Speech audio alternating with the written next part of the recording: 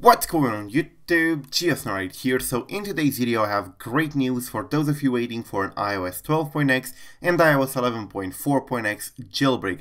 Very important things happened in the community in the past few hours and we're closer than ever to an actual jailbreak. I'm going to start with tihmstar who managed to pretty much get Task for PID0 on iOS 11.4.1 which very likely works on 11.4 as well. This is actually very good news for the iOS iOS 11.4.1 people, but do not worry if you're running iOS 12, I also have great news for you down the road. So I'm going to start with iOS 11.4.1. tihmstar posted just a few hours ago in here, quote, got TFP 0, yay. Now I just need to clean up the kernel after exploit so it doesn't panic on exit.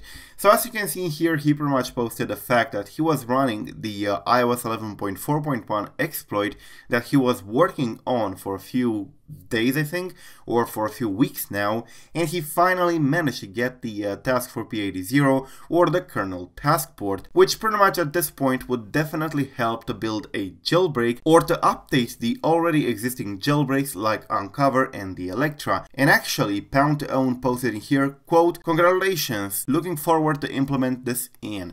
So he might be updating the Uncovered jailbreak once this gets released. And there is no word from tihmstar on whether this is going to be released or kept private, but as far as I can see, this will be released. So yeah, definitely very good news for both the iOS 11.4 and iOS 11.4.1 people. Let's switch gears now to the iOS 12 because there are very good news there as well. If you go ahead in here, Minspark Zheng has posted, quote, Mach port-oriented programming attack, proof number 2, getting task for PID0 and root on iOS 12.1.2, iPhone 6s and he posted a screenshot with an iPhone running iOS 12.1.2 and also his terminal window where he pretty much got the kernel task port in there as well. So yeah, as you can see, it has been achieved on iOS 12.x as well. We do not know whether this is fixed on iOS 12.1.3, but for the moment it seems to be compatible with the latest version, which is definitely great, because if Min actually releases this,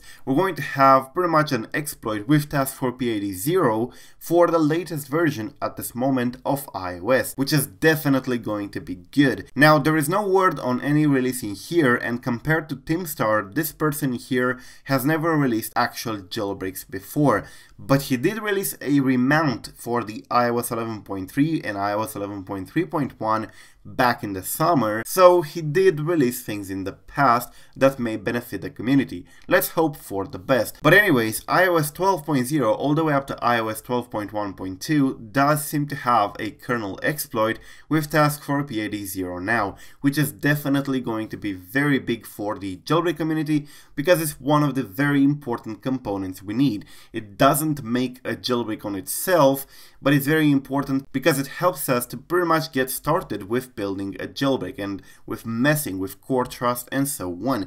So definitely very good news. And speaking of good news on iOS 12.x, Has posted quote a POC for an iOS kernel UAF or use after free I found last year CVE 2018-4420 fixed in iOS 12.1. This requires host_priv port to be triggered. More bugs soon. So he pretty much posted a proof of concept bug or vulnerability that is pretty much working on iOS 12.0 all the way up to 12.0.1 and it's a kernel use after free. Now although this doesn't provide the kernel task port, it may come in handy and it has been released. So yeah, definitely a lot of very good news in a very short period of time. Now something very important I forgot to mention about the exploit that tihmstar has in here with TFP0 is that the exploit only works all the way up to iPhone 6s Plus, so the iPhone 7 and newer, which do not have the headphone jack, are not supported. There is nothing to worry about the headphone jack itself, but the problem is that it won't work on the KTRR devices. So yeah, this is pretty much one of the problems for the moment. I do not know whether tihmstar will update his exploit to work on the newer devices as well. But anyways, these are very very good news for the moment. We went from literally nothing for iOS 11.4.1